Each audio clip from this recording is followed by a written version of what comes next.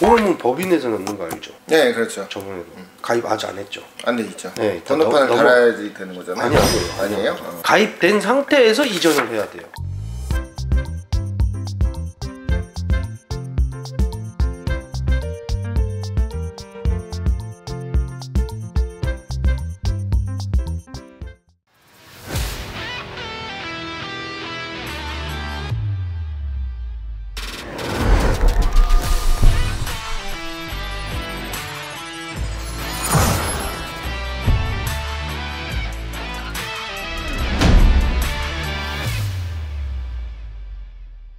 지금 사장님 현재 사업자가 있으세요? 아니 없습니다. 현재 내가 사업자가 없으니까 계약 체결이 다 되면 끝난 다음에 명의 이전이 되고 사업자를 낼 수 있어요. 하도 사업자로. 예. 그걸로 사업자가 나와야 화물 복지 카드도 만들고 예, 예, 빠르면 이따가 오후에 등록할 거고요. 예. 네. 보험은 법인에서 넣는 거 알죠? 네, 그렇죠. 저번에도 가입 아직 안 했죠? 안돼 있죠. 네, 번호판을 넘- 넘어- 달아야지 되는 거잖아요. 아니요, 아니요. 아니에요? 어. 가입된 상태에서 이전을 해야 돼요. 이게 오늘이 23일이죠. 네. 오늘까지는 보험이 돼 있긴 돼 있죠. 전에 이 번호판. 아 전에 번호판 네, 이거- 오늘까지 네. 그 보험 연락처 알 수 있을까요? 그리고 새로 이제 산출을 해서 보험금 나오는 거를 지급하시면 예, 돼요. 예, 예. 나중에 처리하시면 돼요. 예. 이건 사장님 보험이니까. 예, 예. 사마에서 넣은 게 아니에요? 기사분이 넣은 거예요? 우리 저희 사마 기사님이 이제 넘기신 기사님. 아 직접 그럼 그 기사분이 개인적으로 든 거예요?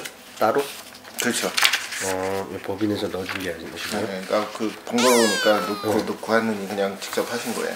그럼 여기서 서류만 주셨겠네요. 네네. 법인 서류는. 네. 아, 나중에 보험을 넣을 때그 용달 그쪽에다가 넣어야 되는 건가요?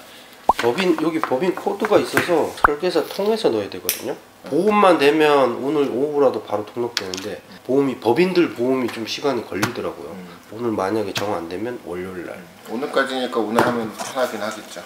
그리고 또 바로 또 바꿔야 돼서 주말이 또 껴버려서 넣었다가 빠지면 어차피 차는 저기 서, 서 있잖아요. 네, 이거 등록하고 다 되면 되니까 다 등록된 다음에 노란 번호판 나오면 여기 저희 들렸다가 지참해서 내매상사 가서 장착하고 출고하시면 돼요. 아, 예, 예. 네, 전화를 드릴 거예요. 예, 예. 실장님이 보험사랑 한번 통화를 해보고 오늘 될지 이따가 전화를 드릴게요. 그럼 보험금은 언제쯤 할 수 있는 건가요? 그리고 이제 산출하면 예, 예, 예. 아마 오늘 산출 뽑아봐야 될 거예요. 그 하루짜리는 아마 연결해서 못 살릴 거예요. 그거 뽑아가지고 산출해서 다시 가입을 하고 그렇게 해드릴게요.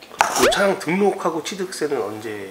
그거는 다 끝난 다음에 제가 얼마 얼마 나왔다고 알려드릴게요. 아, 예, 네. 알겠습니다. 네.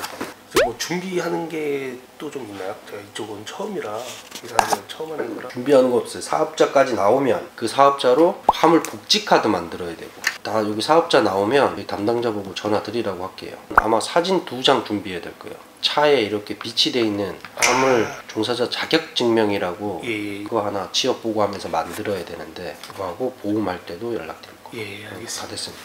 혹시나 미비된 거 있으면 연락을 드릴게요.